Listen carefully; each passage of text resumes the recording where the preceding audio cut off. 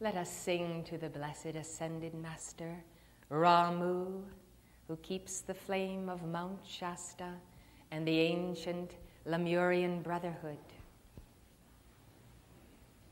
Won't you visualize Mount Shasta as the great mountain of light, ancient vortex of light?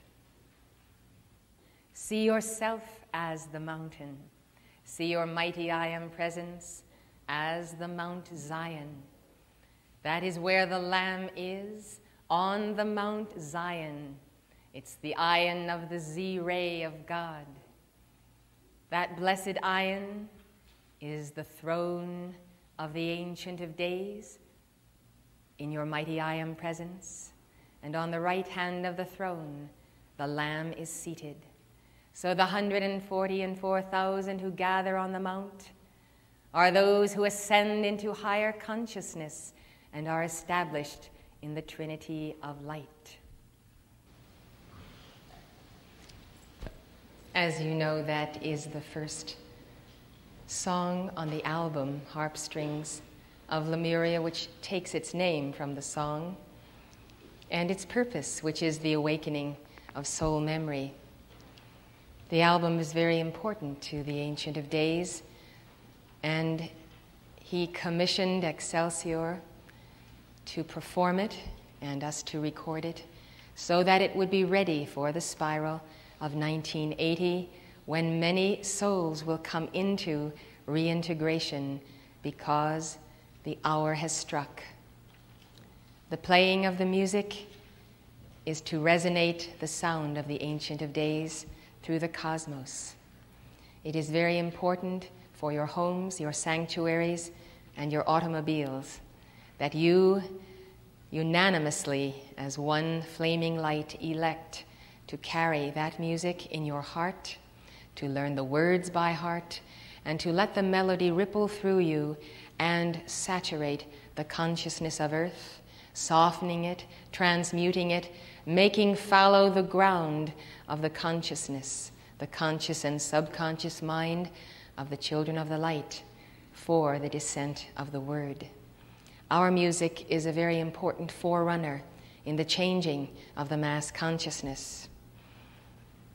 The book of Revelation prophesies the opening of the bottomless pit, and out of that pit comes forth Abaddon and his fallen angels, devils and demons, as a plague of locusts. And they come forth, and they have come forth, they are abroad throughout the earth in the rock and drug culture. That pit opened early in the 60s, actually in the late 50s, by the music that began to be that rock beat. The rock beat is the beat that lowers the flame of the mother into the very depths of hell, carrying the souls of her children of light with it. The music of Excelsior is the corresponding beat of Sanat Kumara, Lady Master Venus, which has the power of the magnet of the great central sun to draw up that mother light. As it raises up the mother light, it raises up those who are a part of the perversion, the downward spiral of that light, going into the very bowels of the earth. When you look at this generation of youth, nation by nation, caught in the use of drugs, perpetually in the sound of rock, and in the practices ever alarmingly, increasingly greater, the practices of witchcraft and black magic and Satanism for the manipulation and control of forces and life. When you see them, you realize, as you look into their eyes and into their souls and into their chakras, that they are not here they are not tethered to the physical plane, they are not tethered to the etheric plane or the mental plane. It is as though they were vacated temples and the occupants are not home. And you ask, Is anyone there? You knock on the door and there is no response because they actually have descended into the lowest astral vibrations. It is there that Jesus Christ sends us in the hour of our crucifixion. This is part of the initiation of the crucifixion. To give one's life, and in the period of being on that cross, which may be many incarnations, we are sent into the astral plane, into death and hell itself, to rescue God's children. From the hour when he gave up the ghost until Easter morning, Jesus descended into hell and preached to the rebellious spirits. His legions went with him to cut free the lost souls. And so this is our calling in this hour, and we can fulfill it immediately by making this tape album our very own and letting that music play whether we are in the presence of it or not, and participating in it. It's good to play it in the night hours. It's good to play it for children when they go to sleep so they can go into the inner temples and the octaves of light.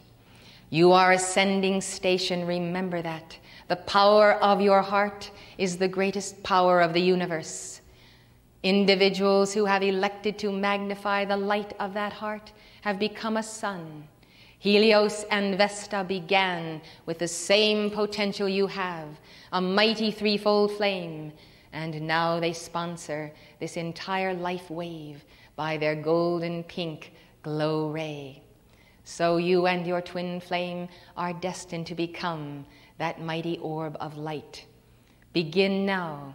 Expand the capacity of your sun by allowing this excelsior music to flow through it and the very pressure of its flow will expand the course and the channel, even as the river floods and goes over its boundaries, finally expanding those boundaries if it is to become permanently enlarged. And so, by exercise of the word and the flow, we do expand. Music of Excelsior is the reversing of the tide of the rock beat.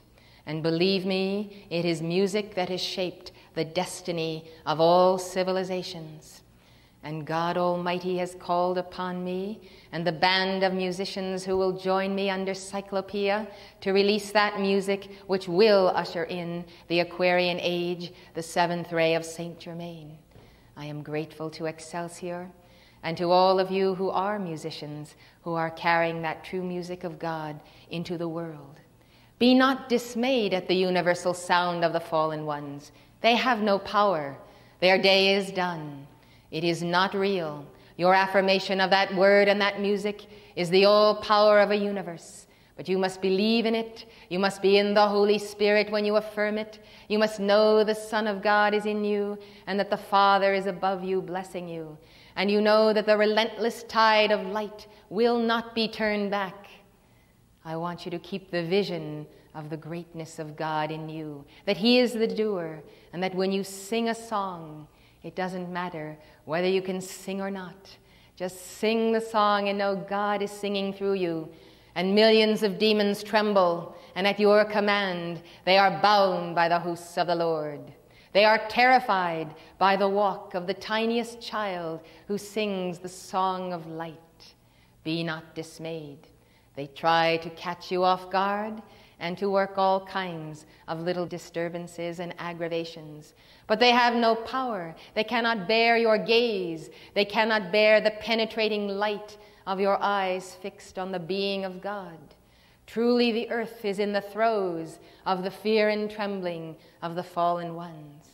You are the ones who know the secret and the key to life. Use it and see how you will bless that life.